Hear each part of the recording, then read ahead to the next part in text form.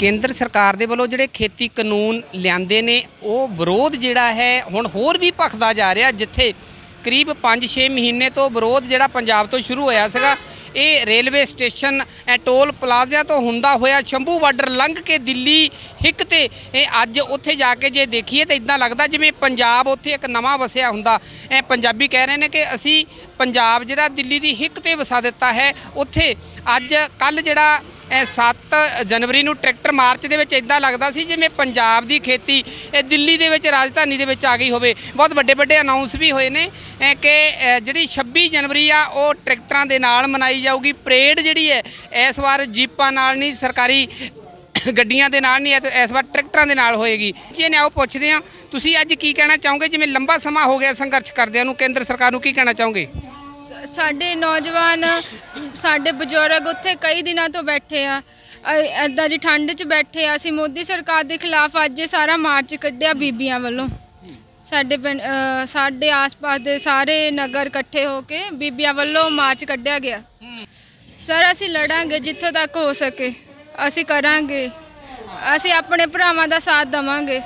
ਕਿਆ ਬਾਤ ਹੈ ਜੀ ਬੀਬੀਆਂ ਕਹਿ ਰਹੀਆਂ ਕਿ ਅਸੀਂ ਆਪਣੇ ਭਰਾਵਾਂ ਦਾ ਸਾਥ ਦੇਵਾਂਗੇ ਲੜਾਂਗੇ ਜਿੰਨਾ ਚਿਰ ਇਹ ਲੜਾਈ ਜਾਰੀ ਰਹੂਗੀ। ਤੁਸੀਂ ਕੀ ਕਹਿਣਾ ਚਾਹੋਗੇ? ਅੱਜ ਬਹੁਤ ਵੱਡਾ ਕਾਫਲਾ ਬੀਬੀਆਂ ਦਾ ਨਾਲ ਬਜ਼ੁਰਗ ਵੀ ਇਹ ਇੱਥੋਂ ਤੱਕ ਕਿ ਲੜਕੀਆਂ ਜਿਹੜੀਆਂ ਉਹ ਵੀ ਬੜਾ ਹੌਸਲਾ ਸੀ ਬੱਚਿਆਂ 'ਚ ਵੀ ਬੜਾ ਹੌਸਲਾ ਸੀ ਇਹ ਨਾਅਰੇਬਾਜ਼ੀ ਕਰ ਰਹੇ ਸੀ। ਤੁਸੀਂ ਕੀ ਕਹਿਣਾ ਚਾਹੁੰਦੇ ਹੋ? ਮੈਂ ਇਹੀ ਕਹਿੰਦੀ ਸਭ ਤੋਂ ਪਹਿਲਾਂ ਜਿਹੜੇ ਸਾਡੇ ਬੱਚੇ ਮੋਹਰੇ ਹੋ ਕੇ ਤੁਰਨ ਲੱਗੇ ਆ ਸਾਨੂੰ ਬਹੁਤ ਖੁਸ਼ੀ ਆ ਅਸੀਂ ਇਹਨਾਂ ਦੇ ਮਗਰ ਆ। ਸਾਡੇ ਬਜ਼ੁਰਗ ਉੱਥੇ ਸਾਡੇ ਭਰਾ ਸਾਡੇ ਭੈਣਾਂ ਉੱਥੇ ਬੈਠੀਆਂ ਆ। ਜਦੋਂ ਉਹਨਾਂ ਨੂੰ ਆਪਾਂ ਦੇਖਦੇ ਮੀਂਹ 'ਚ ਕੀ ਹਾਲ ਇਸ ਟਾਈਮ ਹੋਏ ਆ। ਆਪਾਂ ਨੂੰ ਇਦਾਂ ਦੁੱਖ ਲੱਗਦਾ ਜਿਹੜੀ ਗੱਲ ਕਹਿਣ ਦੀ ਨਹੀਂ ਹੈਗੀ। ਮੋਦੀ ਨੂੰ ਹੁਣ ਮੰਨਣਾ ਚਾਹੀਦਾ। ਅਸੀਂ ਵੀ ਇਸੇ ਗੁੱਸੇ ਵਿੱਚ ਦੇਖ ਕੇ, ਮੀਂਹ ਦਾ ਦੇਖੋ ਕਿੰਨਾ ਹੋਇਆ। ਪਰ ਨਹੀਂ, ਉੱਥੇ ਪੱਧਰੇ ਲੈਂਟਰ ਪਾਤੇ ਰੋਡਾਂ ਤੇ। ਲੈਂਟਰ ਪੈ ਗਏ ਉੱਥੇ। ਉਹ ਇਹ ਨਾ ਸਮਝੇ, ਉਹ ਡਰੇ ਅਸੀਂ।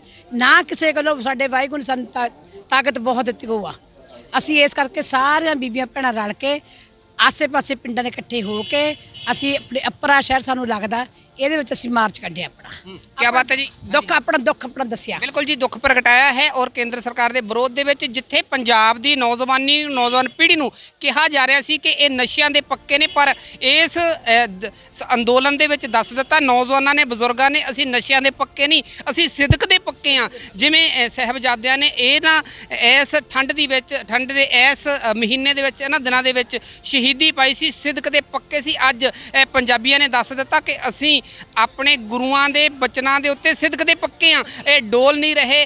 ਸਗੋਂ ਜਿੱਥੇ ਦਿੱਲੀ ਦੇ ਵਿੱਚ ਸਰਕਾਰ ਨੂੰ ਇਦਾਂ ਲੱਗਦਾ ਸੀ ਕਿ ਕੁਝ ਦਿਨ ਬੈਠਣਗੇ ਤਾਂ ਚਲੇ ਜਾਣਗੇ। ਮੀਂਹ ਆਊਗਾ ਚਲੇ ਜਾਣਗੇ। ਕੋਰਾ ਪਊਗਾ ਚਲੇ ਜਾਣਗੇ। ਧੁੰਦ ਪਊਗੀ ਚਲੇ ਜਾਣਗੇ। ਪਰ ਉਲਟ ਹੋ ਰਿਹਾ। ਜਿਵੇਂ ਜਿਵੇਂ ਉੱਥੇ ਮੀਂਹ ਆ ਰਿਹਾ ਧੁੰਦ ਪੈ ਰਹੀ ਜੇ ਉਦਾਂ ਉਦਾਂ ਉੱਥੇ ਪ੍ਰਬੰਧ ਸਮਾਂ ਪੱਕੇ ਹੋ ਰਹੇ ਨੇ, ਜਿਵੇਂ ਬੀਬੀ ਨੇ ਦੱਸਿਆ ਕਿ ਉੱਥੇ ਤਾਂ ਲੈਂਟਰ ਪੈਣੇ ਸ਼ੁਰੂ ਹੋ ਗਏ ਨੇ, ਟਾਇਲਟਸ, ਬਾਥਰੂਮ ਦਾ ਪੱਕਾ ਪ੍ਰਬੰਧ ਹੋਣਾ ਸ਼ੁਰੂ ਹੋ ਗਿਆ।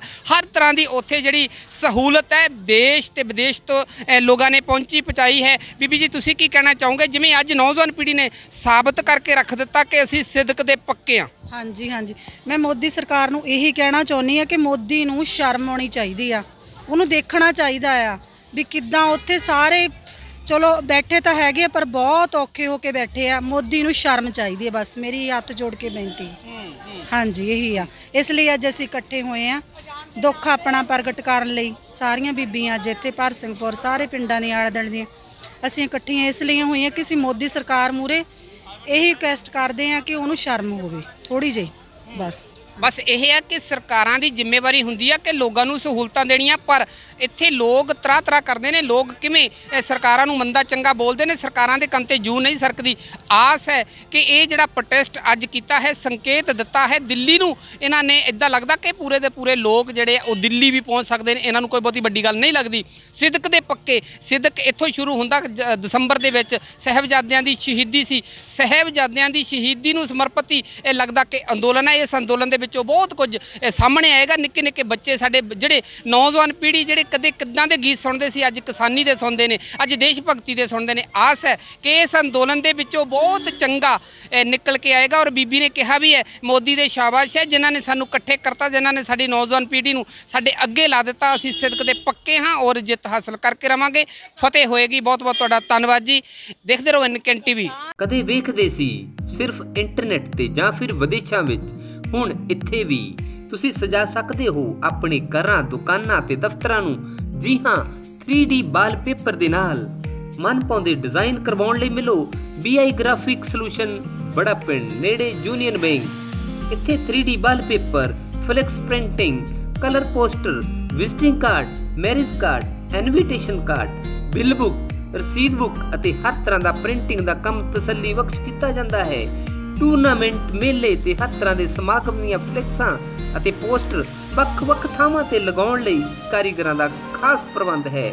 ਸੇਵਾ ਦਾ ਮੌਕਾ ਦਿਓ। BI ਗ੍ਰਾਫਿਕ ਸੋਲੂਸ਼ਨ ਬੜਾ ਪਿੰਡ, ਨੇੜੇ ਯੂਨੀਅਨ ਬੈਂਕ ਸੰਪਰਕ ਨੰਬਰ 01826 266 062 ਅਤੇ 98550 92934